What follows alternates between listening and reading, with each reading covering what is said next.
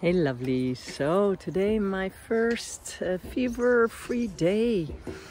Wow, that feels so much better. Um, yeah, I want to just thank everybody for all the lovely messages about my mom and my health.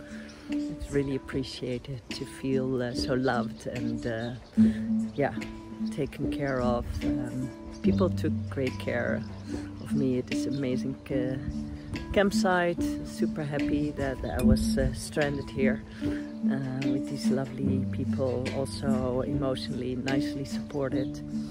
Had this uh, beautiful little ceremony for my mom here. And, uh, yeah, just, uh, again, thanks so much, bottom of my heart.